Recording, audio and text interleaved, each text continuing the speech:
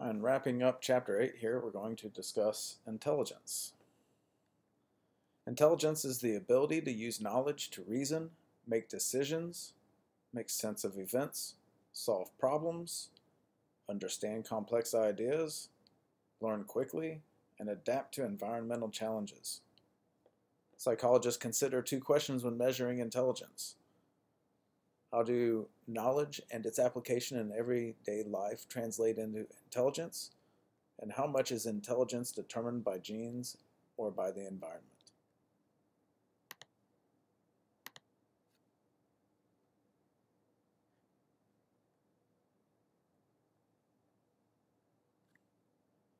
And as you may know, intelligence is measured with standardized tests. The psychometric approach to measuring intelligence focuses on how people perform on standardized tests. Some psychometric tests focus on achievement, while other tests focus on aptitude. A scientist named Binet proposed that intelligence is best understood as a collection of high-level mental processes. Psychometric tests of general intelligence include the Stanford-Binet test, which measures intelligence using the intelligent quotient or IQ score.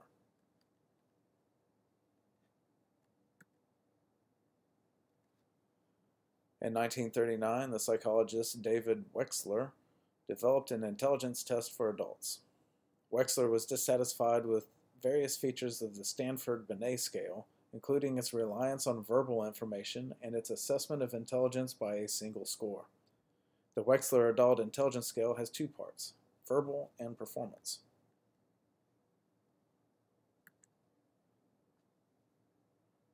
The, the performance part of IQ test includes nonverbal tasks.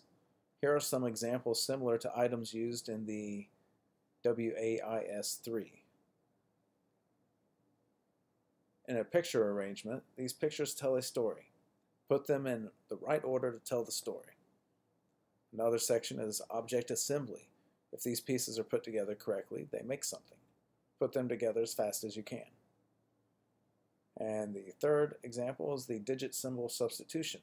Using the code provided, fill in the missing information in the test picture.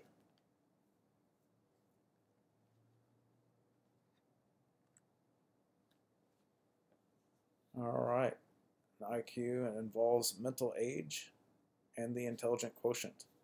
Mental age is an assessment of the child's intellectual standing compared with that of same age peers. This is determined by comparing the child's test scores with the average test scores for children of each chronological age introduced by Binet. The intelligent quotient is an index of intelligence computed by dividing the child's estimated mental age by the child's chronological age, then multiplying this number by 100. This was developed by Wilhelm Stern.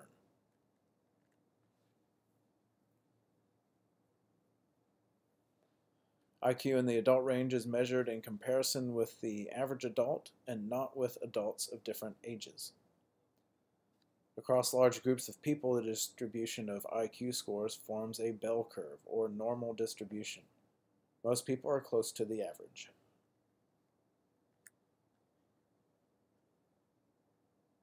IQ is a score on a normed test of intelligence. That is, one person's scores relative to the scores of the large number of people who already took the test. As is discussed in chapter 2, the statistical concept of standard deviation indicates how far people are from the average. The standard deviation for most IQ tests is 15. The average, or mean, is 100. As shown in this bell-shaped curve, Approximately 68% of people fall within one standard deviation of the mean. They score an 85 to 115. Just over 95% of children fall within two standard deviations. They score from 70 to 130.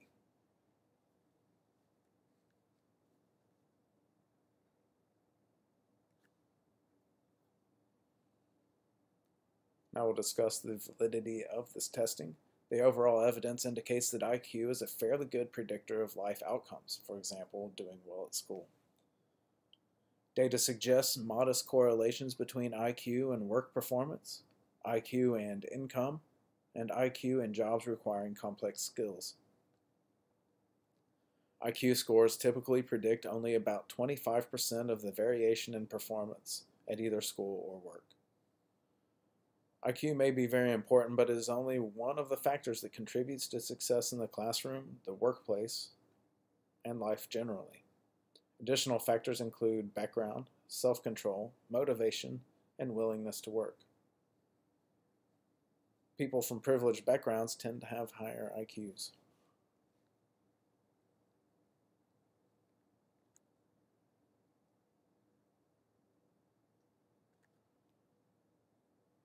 I'll expand on that.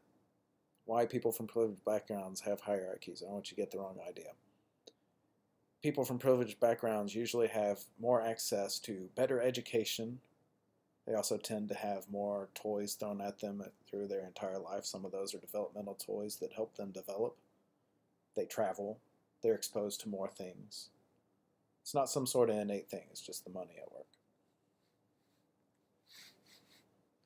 All right, general intelligence involves multiple components.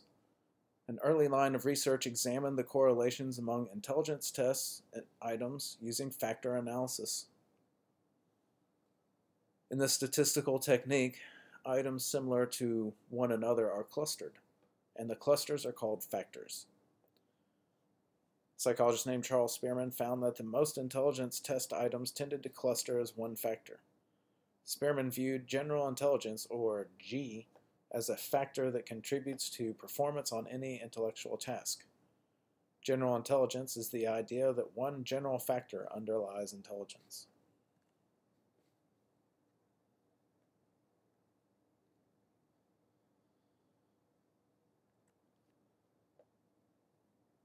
As depicted in this cluster of overlapping ovals and circle, Spearman viewed G as the general factor in intelligence. This underlying factor influences an individual's specific abilities related to intelligence.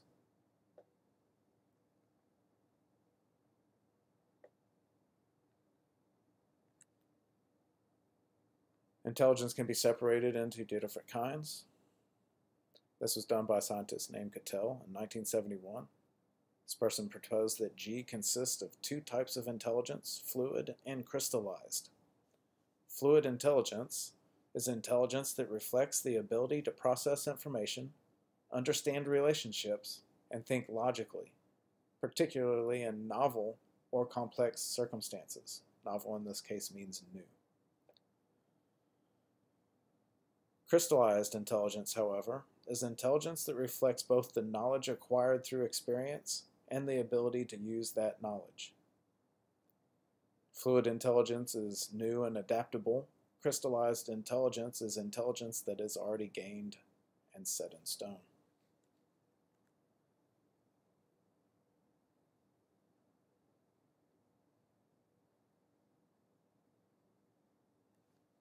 Distinguishing between fluid intelligence and crystallized intelligence is somewhat analogous to distinguishing between working memory more like fluid intelligence, and long-term memory, more like crystallized intelligence. Crystallized intelligence grows steadily throughout the adult years, while fluid intelligence declines steadily.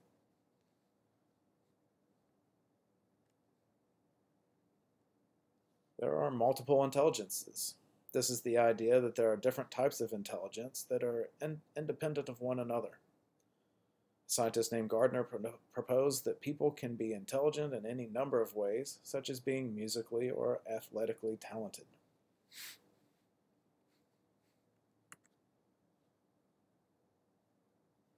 Another scientist, Sternberg, theorized that there are three types of intelligence analytical, creative, and practical.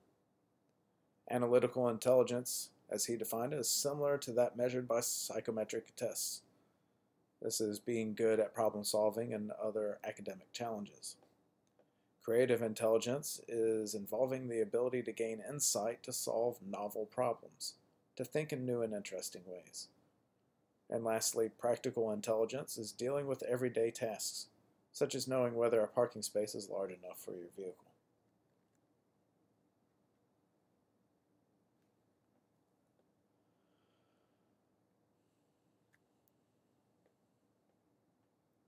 Another form of intelligence is referred to as emotional intelligence.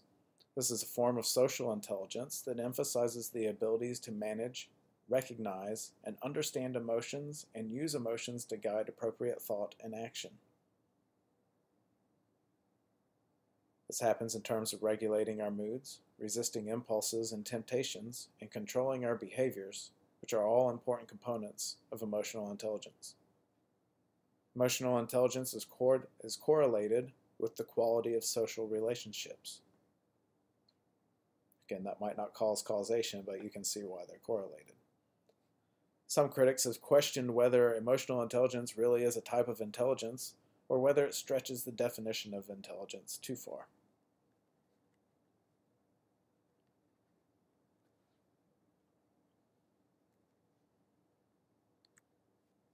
Intelligence is related to cognitive performance. Scientists named Galton believed that intelligence was related to the speed of neural responses and to the sensitivity of the sensory perceptual systems, and he speculated that intelligent people have larger, more efficient brains. Other psy psychologists believe intelligence is supported by low-level cognitive functions such as mental processing, working memory, and attention.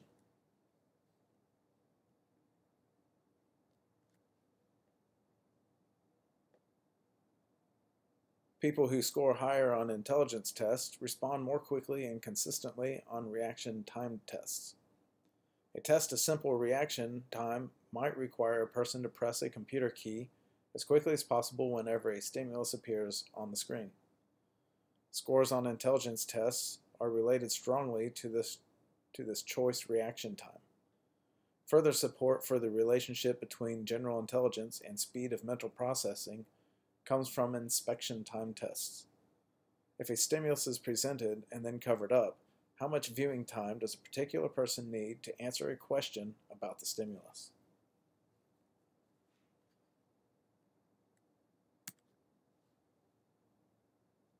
Here's an example of inspection time task. The task is to determine whether side A or side B of the stimulus is longer. Stimulus is presented and then quickly followed by a mask. Judging the lengths is easy when you have enough time to view the stimulus, but it becomes difficult when the mask decreases viewing time severely.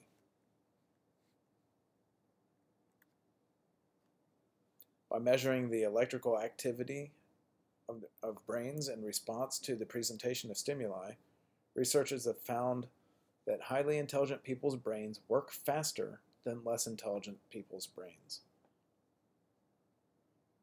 The relationship between general intelligence and mental speed appears to be correlated with the greater longevity of people with high IQs.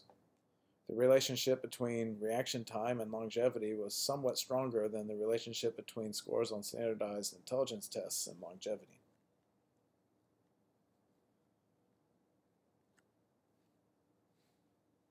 All right, now we're going to discuss working memory. If you'll recall, we discussed this a chapter or two ago. General intelligence scores are closely related to working memory but are not identical. Studies differentiate between simple tests of memory span and memory tests that require some form of secondary processing. Memory tests that have dual components show a strong relationship between working memory and general intelligence. The link between working memory and general intelligence may be attention or the ability to pay attention.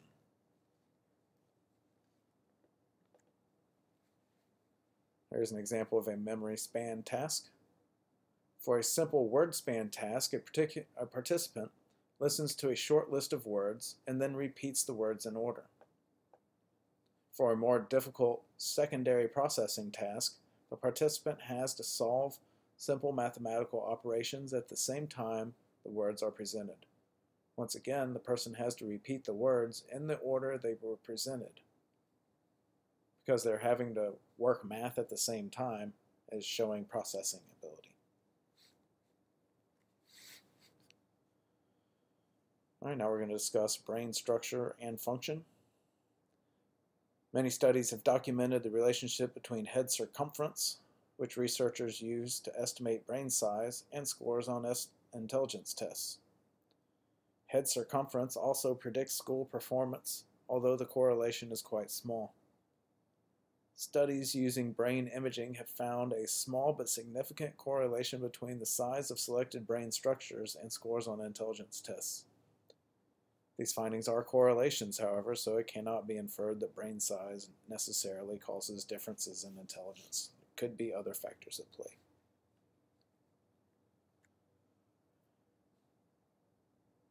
Different kinds of intelligence seem to be related to the sizes of certain brain regions. These regions include areas associated with working memory, planning, reasoning, and problem solving. Studies have found that the volume of neuronal cell bodies, or gray matter, in the frontal lobes and in other brain regions support attentional controls related to fluid general intelligence. Studies have found no relationship, however, between the volume of frontal gray matter and crystallized intelligence.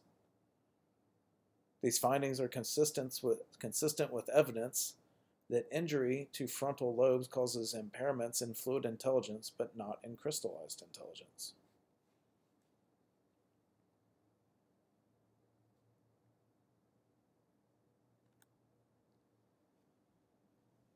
All right, now we're going to talk about a different kind of intelligence savants. Savants have minimal intellectual ca capacities in most domains but at a very early age, each savant shows an exceptional ability in some intelligent process. A savant's exceptional ability may be related to math, music, or to art. The combination of prodigious memory and the inability, inability to learn basic tasks is a great mystery. This rare combination adds a dimension to our understanding of intelligence. Here's an example of a fellow named Stephen Wiltshire Despite having autism spectrum disorder, Stephen Wiltshire has published a book of his remarkable, remarkably accurate and expressive memory-based drawings by the time he was a young teenager. Here in October 2010, he holds his drawing of an architectural site in London, England. Wiltshire, Wiltshire observed the site briefly, then completed the picture largely from memory.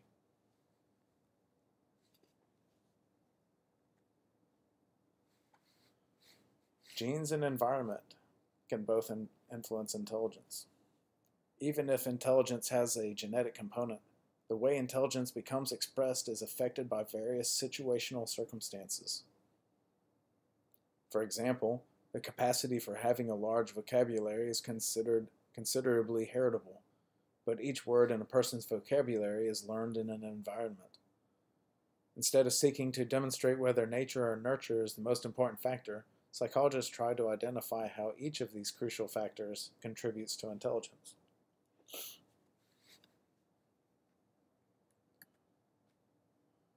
Numerous behavioral genetic studies have made clear that genes help determine intelligence. But the extent to which genes do so is difficult to determine. Behavioral geneticists study the genetic basis of behaviors and traits such as intelligence. They use twin and adoption studies to estimate the extent to which particular traits are heritable. Even when raised apart, twins who have inherited an, an advantage might receive some social multiplier, an environmental factor, or an entire environment that increases what might have started as a small advantage. Suppose twins have inherited a higher than average verbal ability. Adults who notice this ability might read to them more often, and give them more books.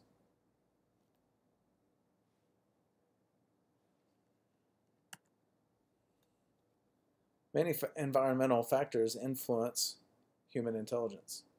There are prenatal factors. This could be parents' nutrition and intake of substances, including toxins, drugs, and alcohol. There are also postnatal factors, which include family, social class, education, nutrition, cultural beliefs about the value of education, and the person's intake of substances, including toxins. There's also a relationship between birth weight and intelligence later in life.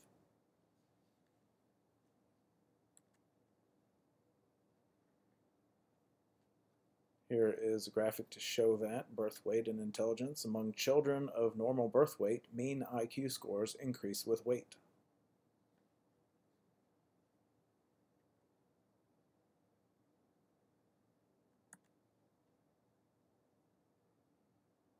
Right, environmental factors include socioeconomic status or SES. That's that example of growing up in a wealthy family significantly increases IQ by 12 to 18 points. If you remember what I said, it's just because they have more experiences and exposure to things, more toys. Yeah, they're definitely more likely to have a computer at an early age and all kinds of stuff like that. Research from numerous laboratories have shown that enriched environments enhance learning and memory. The implication is that environmental influences how genes involved in brain development are expressed.